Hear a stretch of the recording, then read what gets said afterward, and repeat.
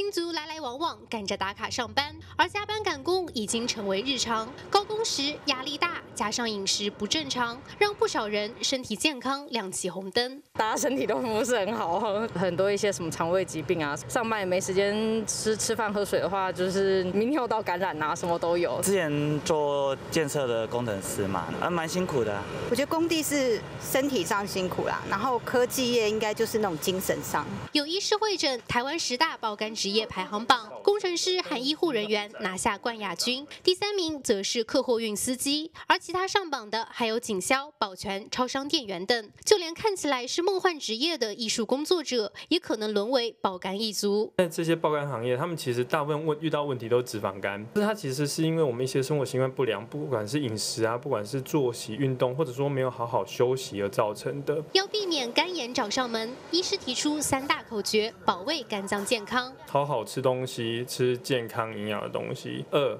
有时间的话，尽量让自己增加我们的活动量，甚至增加运动量；第三个，好好的休息，呃，不要把时间全部花在事业上，该舒压的时候好好舒压。除了注意饮食与适时休息，医师建议民众也得抽出时间，定期做肝脏的健康检查。毕竟自己的肝还是得自己好好照顾。华语新闻杨格、王悠扬台北报道。请订阅、按赞、分享环宇新闻 YouTube 频道，并开启小铃铛，及时掌握全球时事与最新趋势。